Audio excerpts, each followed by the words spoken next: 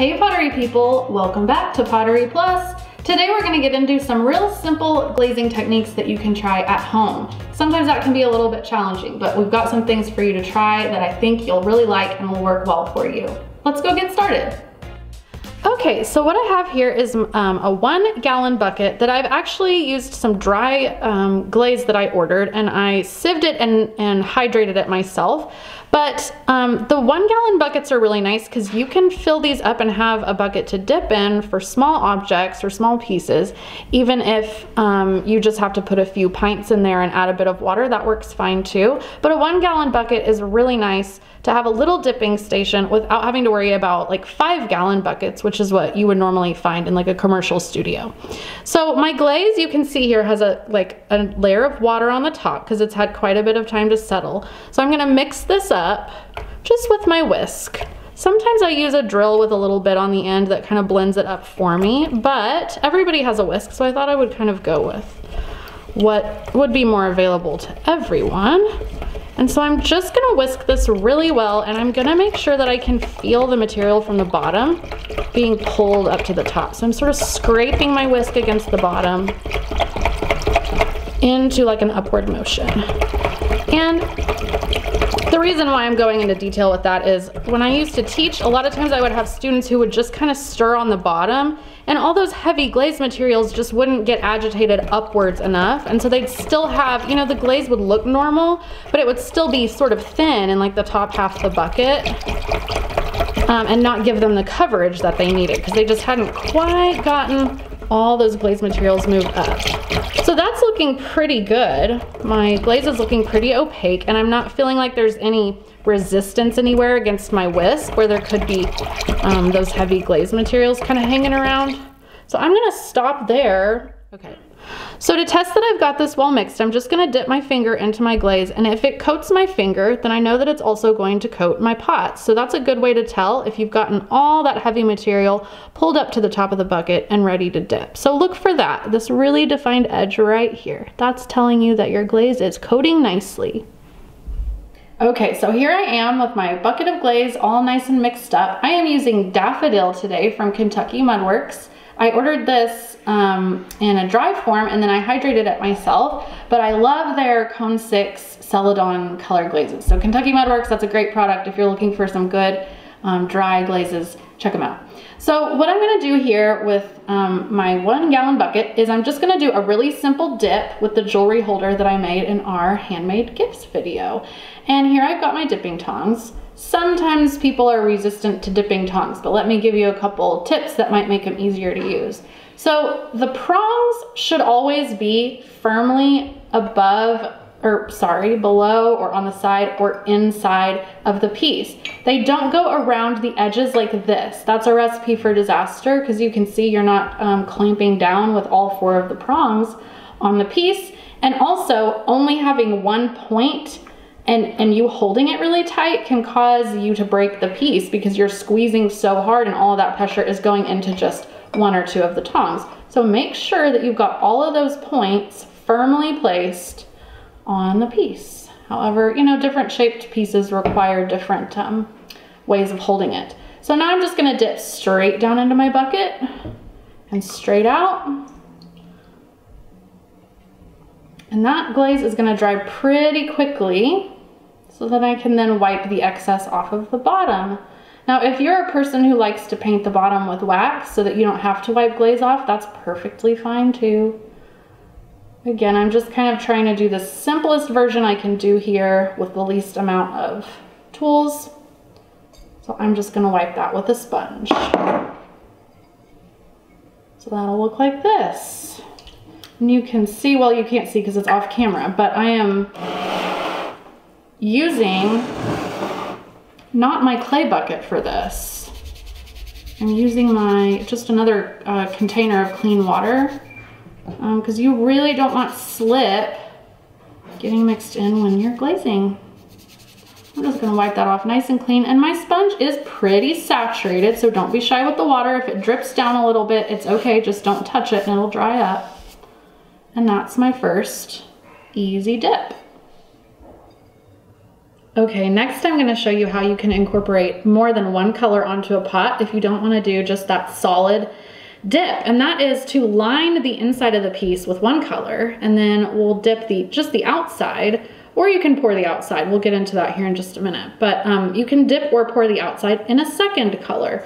So I'm using this, um, brand is this? Amaco uh, Purple Celadon. I kind of selected to use bright colors today so that you guys can see. I wouldn't normally line something with purple, but um, if you would, if you were to line something with purple, that would be just fine. I'm just, uh, again, I tried to pick colors that would show up well for this. So I've poured it into my measuring cup and I've added a little bit of water because sometimes these can be a little thick for um, uh, pouring and dipping but you can make them work. So I'm just gonna pour what I've got into the pot and I'm actually not gonna fill it all the way up because it gets kind of heavy. So instead I'm gonna just roll it around. And friends, this is kind of a an art in and of itself. I certainly did not do it perfectly the first several times and still don't. But it'll look like that. And then you're just gonna dump it back in.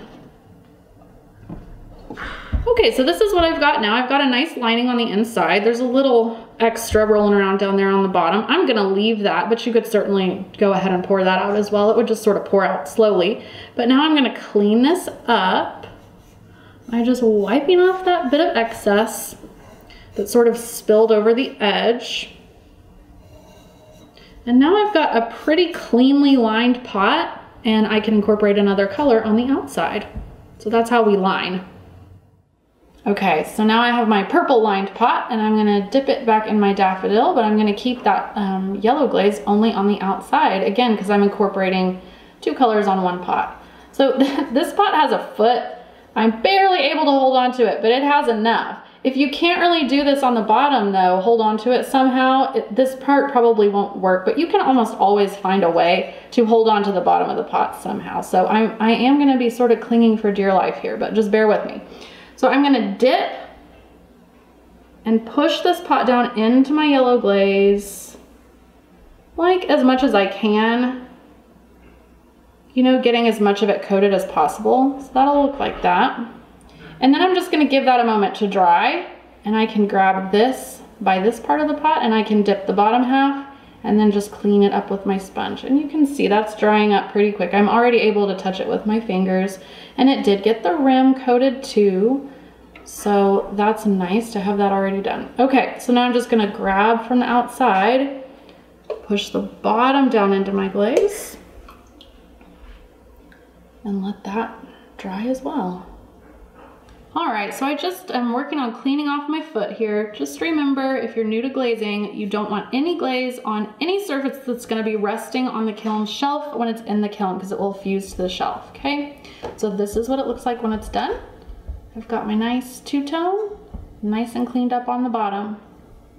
Okay, so if your piece is too big to fit and dip down into, into, the bucket, which this one obviously isn't, but just in an effort to do this quickly and get you the information you need, um, I've got my lined pot here. And if I could not fit this down into my bucket to, to dip, like I just showed you, what you can do is you can get a banding wheel, put it in a pan. This is actually just a dog feeding pan. Anything you have will work that'll catch the excess glaze.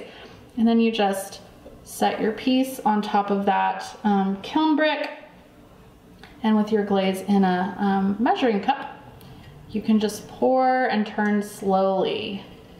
Keep your hand real steady. Again, it's kind of, uh, the more you do this, the easier it becomes. The first few times are, are, are kind of rough for me, probably are for everybody. But then you can get a nice coating like that just by pouring. So to get the, the lip coated with some glaze, you can just grab some from the banding wheel, or sometimes depending on the glaze consistency, it'll just kind of be dripping and you can sort of run the brush around and under and it will coat the lip for you. But you can always work on this a little more when you get this turned right side up. Then you just clean the bottom as normal and that's finished. Okay, if you're just working with pints of glaze and brushes, that is okay. I'm just gonna show you some things to look for to make sure that you're brushing your glaze on correctly. So I've got a nice bright red glaze here because I thought it would show up nicely on camera. And I'm just gonna dip my brush directly into my glaze. And I've shaken this jar up really well before I'm dipping my brush in. And I'm gonna paint my first coating of glaze going side to side. And you will see here how quickly the bisque ware, or the little tile that I'm showing you this on, starts to suck the moisture out of that glaze so that it's ready for its next coating. You'll see it go from looking shiny and damp to um, like chalky and the color will lighten a little bit as well. So you just give that a moment to dry out. Um, sometimes we get impatient. Uh, you're supposed to let it dry completely in between each coating, but if you, you know, if you still have a few dark areas, that's probably gonna be okay. So for my next coating, I'm gonna go the opposite direction and I'm gonna do three coats in total. Um, that's usually what the directions on the side of these pints say to do. And I, I have found that that works really well. It'll give you a nice even coverage and it will be um, robust. It won't be thin and uh, letting the texture of the clay show through or, or yeah. So like that, that one will take a little longer to dry because it was going onto a not completely dry surface. This is probably dry enough for me to go ahead and do my third coat and I'm gonna go back, going side to side again. And then obviously letting that dry out completely. You can try layering colors on top of each other, but it's kind of a, a try it at your own risk kind of a thing unless you've done tests with layering the glazes that you're using on top of each other, okay? And I definitely recommend glaze testing. If you're gonna try a combo you haven't tried before, do a little sample, maybe make some little tiles even like this, and then you can kind of play around with your options. So that's how you brush on the glaze. All right, so if you are working with um, just brushing on and you have to brush everything, the inside and the outside, that is perfectly okay. But if you can, you can always line the inside with a color and then brushing on can come in handy as a technique to use when you wanna do a design or something that's gonna incorporate multiple colors onto the surface, like my cloud design that I've got here. And all you do is you would just incorporate that technique that I showed you on the tile of using the three coats um, brushing them on in different directions, each coating. And then you can have a fun design on the outside of your mug and still do the pouring technique on the inside to make that part go a little faster. All right, friends, that's gonna wrap it up for our basic, basic, basic glazing techniques. I hope some of this was helpful for you and you feel like you might be able to apply some of this stuff in your home practice or anywhere that you're working on your pottery. And we will see you again in two weeks. If you have any questions or comments, drop them below. Find us on Facebook at Pottery Plus or Instagram at Pottery Plus Co. And oh, this is for my grandma. Please like and subscribe. She's been telling me to say that ever since I started the channel. So Gran, that's for you. Love ya. Okay, bye Pottery people. See you next time.